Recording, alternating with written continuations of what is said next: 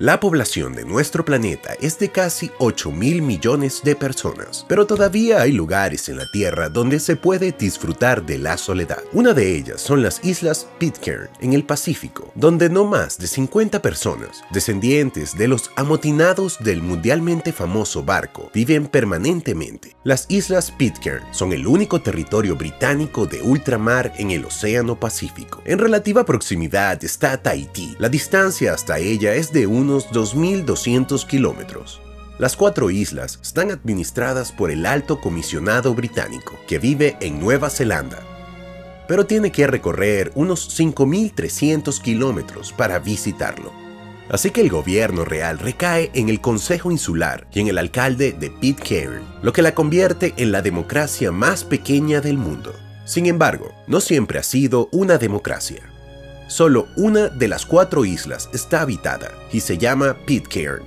El único asentamiento allí es Adamstown, es lógico que desempeñe el papel de capital y es considerada la capital más pequeña del mundo. El asentamiento no puede presumir de un gran número de personas. A partir de 2021, solo 47 personas viven allí. Esto ha hecho que las islas se conviertan en la zona más escasamente poblada del planeta. La historia real de las islas es más fría que cualquier ficción. No es de extrañar que su parte más interesante, el motín en el barco Bounty, haya atraído repentinamente la atracción de escritores y cineastas por igual. A finales de la década de 1780, el Imperio Británico decidió enviar una expedición en busca de árboles del pan, esperados como fuente de alimento barato y calórico para los esclavos de las plantaciones. Un pequeño barco, el Bounty, fue elegido para el viaje. Zarpó con una tripulación de 49 hombres. En 1788, la tripulación llegó a Tahití, donde debía acumular plántulas del fruto del árbol del pan.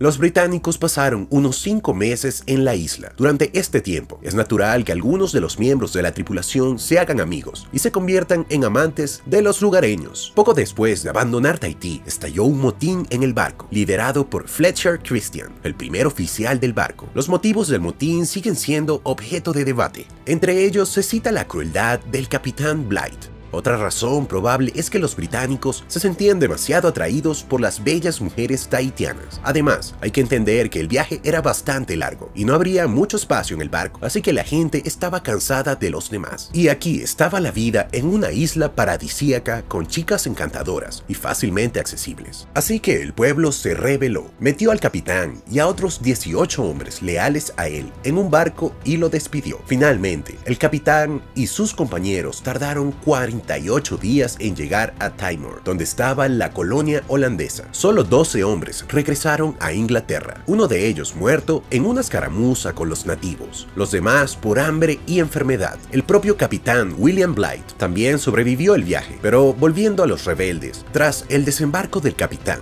algunos de los amotinados se instalaron en Tahití, donde finalmente fueron capturados por la justicia británica. Otros fueron más sabios y tras meses de búsqueda se instalaron en una isla lejana. El barco Bounty, con nueve tripulantes, se acercó a las costas de la isla de Pitcairn el 23 de enero de 1790. Además, había seis hombres tahitianos, 11 mujeres tahitianas y una niña. El barco fue quemado para deshacerse de las pruebas y para disuadirlos de abandonar la isla definitivamente. La vida en la isla no era dulce y pronto se hicieron más frecuentes los conflictos entre tahitianos y rebeldes por las mujeres. Las mujeres comenzaron a dar a luz muy pronto, tanto dentro como fuera del matrimonio, y la población de la isla creció rápidamente. Pero en 1808, cuando la colonia de la isla de Pitcairn fue descubierta por un barco pesquero estadounidense, la composición de la población era bastante curiosa. En Pitcairn había 8 mujeres, un hombre, concretamente John Adams, y 25 niños, de los cuales 24 eran de ascendencia mixta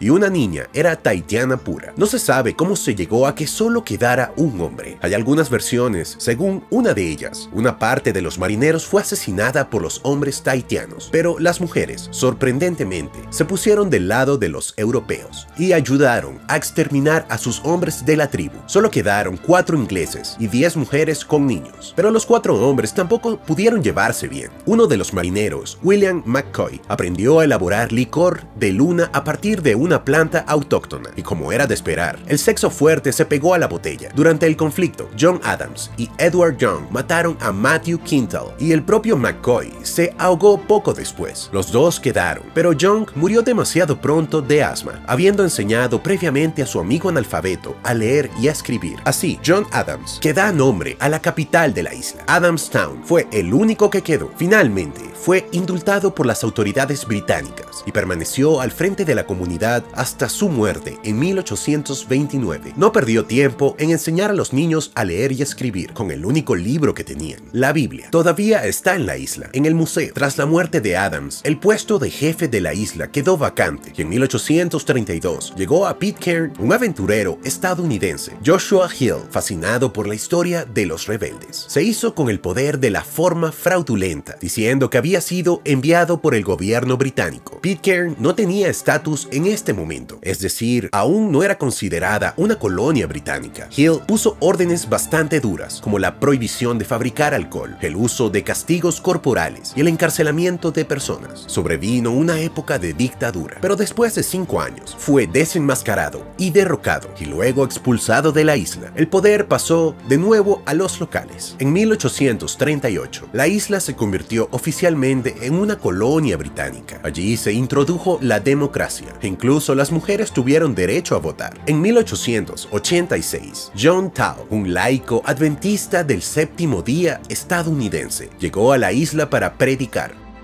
Finalmente, en 1890, todos los habitantes abrazaron la fe Tao, abandonando el anglicanismo. Al día de hoy, el adventismo es la única religión en Pitcairn, aunque no muchos lugareños acuden a la iglesia. En la década de 1910, se produjo un importante acontecimiento en la historia mundial que afectó enormemente a las islas y a sus habitantes. Se trata de la apertura del canal de Panamá. Por ello, Pitcairn comenzó a ser visitada regularmente por los barcos, ya que se encontraba en su camino hacia Nueva Zelanda. El máximo histórico de la población, 233, se alcanzó en 1910 1937, tras lo cual ha ido disminuyendo paulatinamente hasta situarse en torno a los 50 habitantes en las últimas décadas. La principal causa del descenso ha sido la emigración de los jóvenes, principalmente a Nueva Zelanda. El envejecimiento de la población es un problema importante, por lo que el gobierno de Pitcairn ha tomado medidas para hacer la isla más atractiva para los inmigrantes. Sin embargo, esto no ha servido de mucho.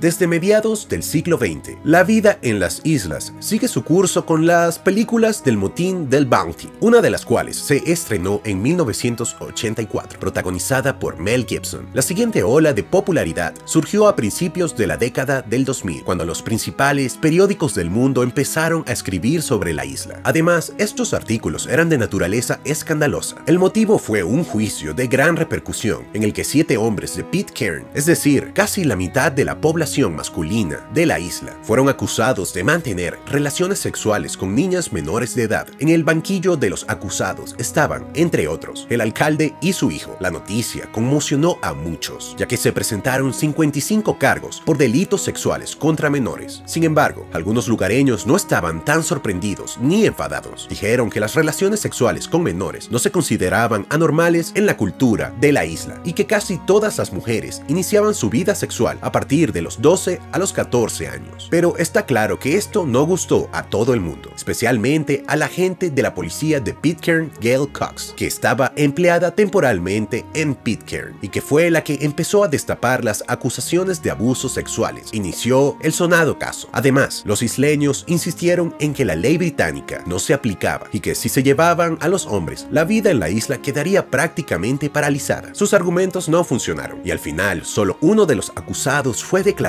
inocente. En realidad hubo dos pruebas, una contra los que vivían en la isla en ese momento y la otra contra los que ya se habían ido. Había seis personas más, pero las sentencias no fueron duras y después de un par de años todos los condenados fueron puestos en libertad. Tres jueces, varios abogados de la acusación y de la defensa y otro personal del tribunal llegaron a la isla desde Nueva Zelanda para celebrar el juicio. Su llegada duplicó el número de personas en la isla mientras estuvieron allí en abril de 2006. El coste del juicio era de unos 10 millones de dólares. Una suma fabulosa para las Islas Pitcairn y en mi opinión para cualquier caso judicial.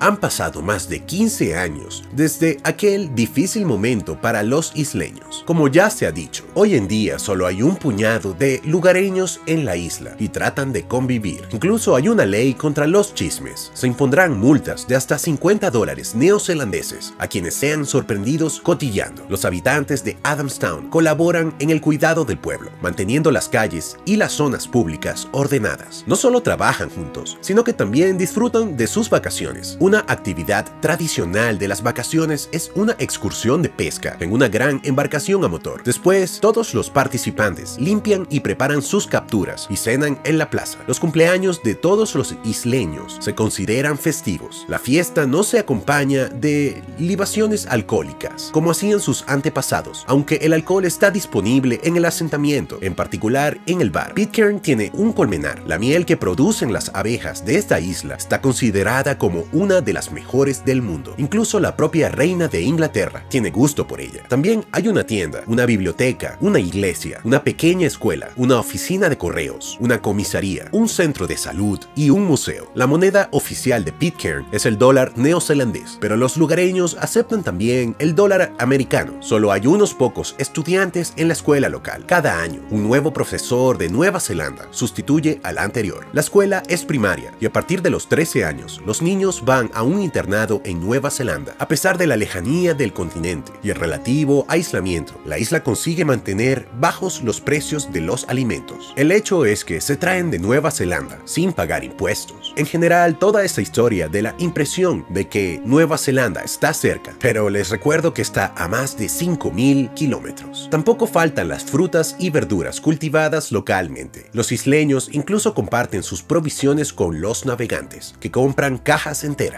El arroyo de la isla hace tiempo que se ha secado y la gente recoge el agua de lluvia en varios contenedores. Todos tienen agua corriente y electricidad. Este último es generado por un generador que se apaga por la noche. Los isleños de Pitcairn prefieren desplazarse en sus vehículos todoterreno. También hay un par de vehículos y ciclomotores, un tractor y una excavadora. Se comunican entre sí principalmente por walkie-talkie. De hecho, sustituyen a los teléfonos móviles. Sin embargo, hay internet y televisión por satélite en la isla.